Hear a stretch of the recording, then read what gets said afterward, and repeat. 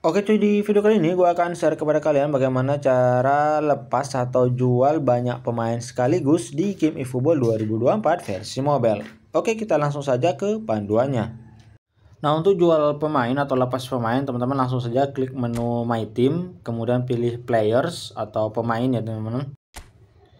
Nah selanjutnya teman-teman pilih menu Selection ya teman-teman. Nah di sini gue sudah ngurutkan dari rating atas ke bawah di sini gua mulai dari yang rating paling bawah ya teman-teman untuk dihapus atau dilepas atau dijual pemainnya.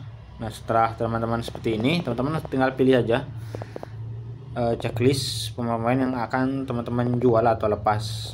Nantinya teman-teman saat melepas atau jual pemain seperti ini teman-teman bakalan dapat rewards teman-teman. Bakalan dapat uh, program latihan dan GP kalau nggak salah jadi nggak sia-sia kalau teman yang lepas pemain yang teman-teman nggak pakai nah selanjutnya setelah teman-teman pilih pemain yang akan teman-teman lepas atau jual langsung aja teman-teman klik menu action ya teman-teman nah di sini kemudian teman-teman pilih yang rilis Nah, seperti yang teman-teman lihat di sini gue lepas 54 players atau 54 pemain dan hadiahnya yang bakalan gue dapat itu program latihan dan juga GP teman-teman.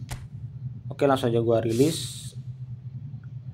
Nah, seperti itu teman-teman bagaimana cara lepas atau jual banyak pemain sekaligus di game eFootball 2024 versi mobile. Semoga video ini bermanfaat. Jika ada yang kurang jelas silahkan teman-teman komen di bawah. Jangan lupa like, subscribe, dan share video ini.